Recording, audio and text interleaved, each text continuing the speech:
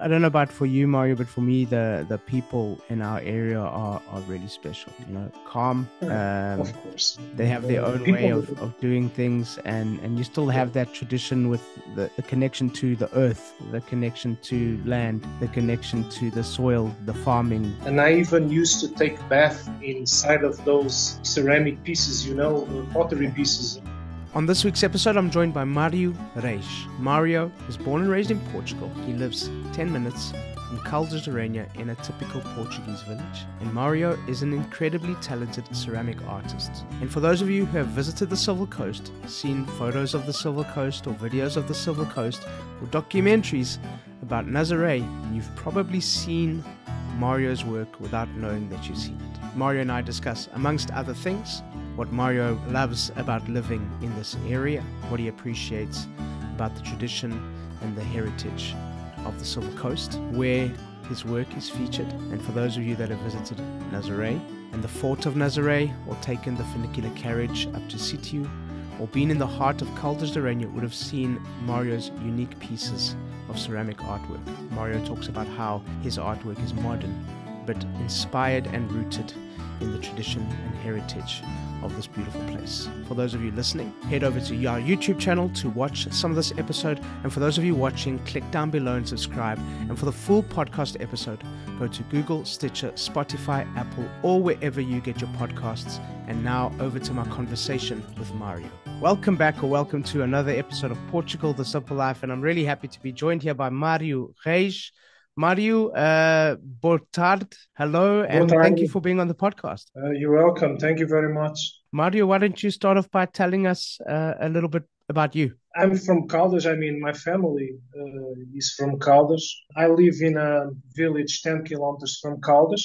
I went live here 20 years ago with my wife, and um, now I live here with my wife and my daughter, which is very nice. It's a very nice place to work. It's quiet to concentrate, and I have all the nature around. Tell us a bit about the work that you do, uh, Marty. Well, what I do is uh, unique pieces. I came from a, a long family tradition of pottery, but okay. actually there was a time that uh, when my one of my uncles died, I wanted to keep with my family, what the tradition of my family, but uh, trying to to make a, a, modern approach, a different approach to to my work. And so I use some traditional techniques and some techniques that I create myself. Basically, it's, it's that I, I, make from small pieces to very big pieces to public places, to public places, and and to orders that people do from all over the world. Um, you mentioned how you it's in the family, but uh, what was it about this form of art that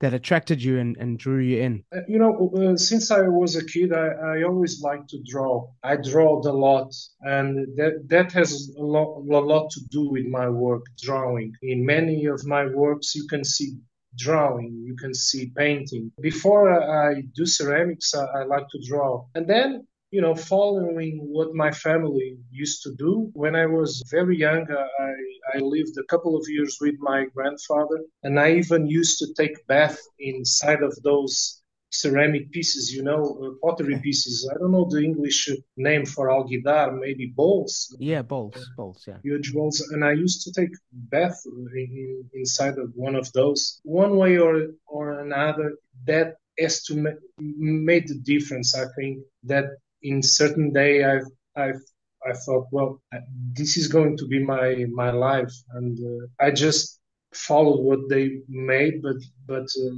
try to use my own language. You know, basically, I'm doing what they did, using the clay to express myself.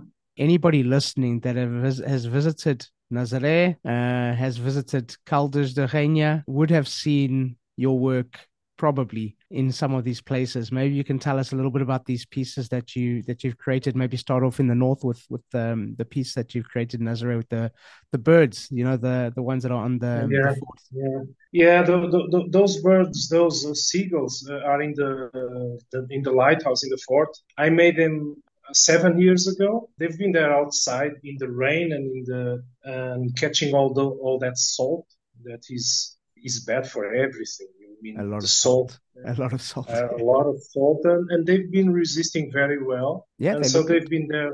Yeah, yeah, and so I think many people go there from all over the world, and and uh, they see the, that work, and then they contact me or to congr- congratulate it. Beautiful. Um, and then I I drive past one of your works uh, every single day. I go past um, Bairro do Pont, and there Exactly. you have you have a, a big statue there in a in a nice case. Uh, tell us about a bit about that work, and people need to Google and, and find these these these these works because they're special. It was very nice to make a, a work in that street, and it's very well protected. You know, with that glass box, is is gonna live forever. I think.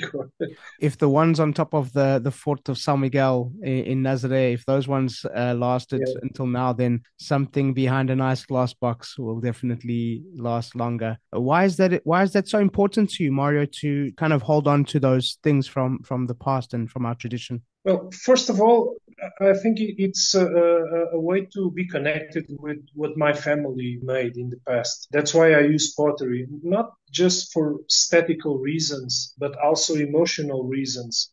It's a way to keep some connection with what my family did since 18, 1850 or something like that. I mean, five generations. Using pottery in my works makes me feel like I'm making something of what they did. You mentioned how uh, your your work is inspired by um, the ocean and your surroundings. How does uh, our area, how does this this place inspire your work, um, Mario? Well, we fortunately we live in a wonderful area. We are surrounded with beautiful beaches. Uh, we have San Martinho. I mean, if you want to go with kids, you go to San Martinho, a peaceful place with peaceful waters. And just a few kilometers next, you have the biggest waves in the world.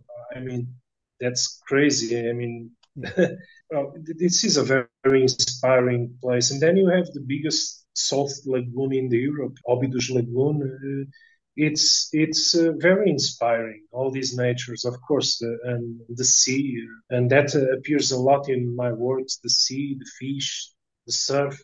Yeah, it's true. It's true. We we're very fortunate. I'm lucky. I have I have um my my my office is in San Martinho do Porto. My my studio is is is in Foz do Arelho, which is right by the entrance of the lagoon. Yeah, man, it, it's just so, so beautiful here. It's just stunning. Can't, can't can't get better than that. no, no, no, no. And then and then you know Nazaré just 10 minutes to go watch the biggest waves in the world. Uh, so in Yeah, terms of the ocean, crazy. It's yeah. I mean, what do you want people to know about this this area that's deeper than what's on uh, the uh, what they'll see on a documentary or on an Instagram post? Yeah, for that you you have to you have to come to these places and you have you have to feel them. Like uh, before, I I, I I knew I always knew Nazaré, but before I make these works, I was always there, walking around in the streets to get inspired to make uh, my works. And I think it's the only know to really know the places. It's to to walk around and especially you know turn on a street that nobody goes there turn get lost in, in Nazaré has a lot of that those very straight streets that there's not many people there but uh, there's a lot of their identity there people with their clothes on the window and with the washing the clothes washing tank on the how do you say veranda Yeah, yeah, yeah, yeah. that's where you see the truly identity. Not so much in the bars or in the restaurants, but uh, you you have to get lost in the middle of that. I don't know about for you, Mario, but for me, the the people in in our area are are, are really special. You know, calm. Um, of course, they have their own way of, of doing things and and you still have that tradition with the, the connection to the earth the connection to land the connection to the soil the farming the um, the, the the the, ceramic work the ocean the fishermen i think it's something quite beautiful yeah, you, you, you can still see that in Nazaré. They didn't lose that. And you can still see the, the fish boats uh, getting in and getting out. You can see the same in Peniche and uh, in Peniche. You can see them going out for fishing.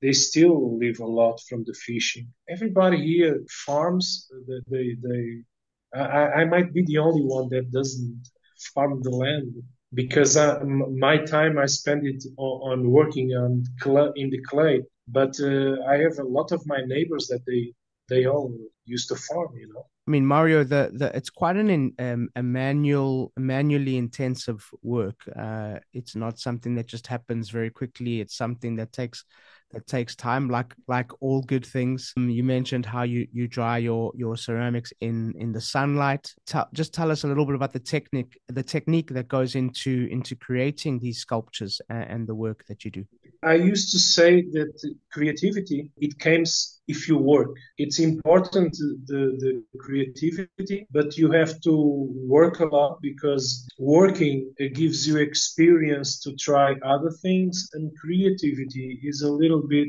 connected to that. It's a little bit like dreaming awake. You know, you you can do whatever you you feel like. You know, and I get inspired a lot. I use uh, a lot of lot animals in my ceramic, like cats, uh, birds, and sometimes I make I personify them, uh, making I, I put them like humans, you know. Yes. Uh, you give them a personality. Doing like human, yes. human. Yeah, exactly, exactly. What's one thing that you would like people to remember and to take away from our conversation? One thing. The importance of uh, our identity because that's the beginning of the whole thing. I mean, wanting to do these things, uh, I mean, has a lot to do with the identity of uh, of the places. Well, I think that's the one good thing I, I would like people to to take of this conversation. Uh, one more question, and a question that we ask all of our our guests: Portugal,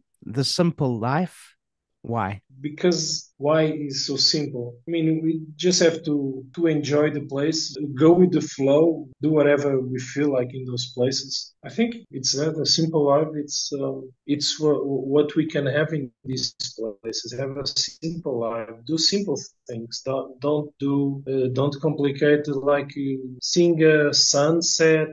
Go to the beach, look at the sea. Simple things. Walk near the the coast. It's what you can do in these places do simple things. Don't have to do much more than that. Yeah. It's the best is to do the simple things. Yeah i like it. Mario thank you so much. Uh, thank you for being a guest on the podcast. I've enjoyed our conversation. Thank you so much. Thank you so much. And and now you can call it. That's a wrap. So thank you once again to our guest and thank you to all of you for listening please subscribe share with your friends give us a thumbs up and please leave a comment or a review. We always love to hear from you. Don't forget, Portugal the Simple Life also has a magazine, so download it, it's for free. We'll be back next week with a brand new episode, and as we say in Portugal, Sejas bem-vindo. Welcome to the Simple Life.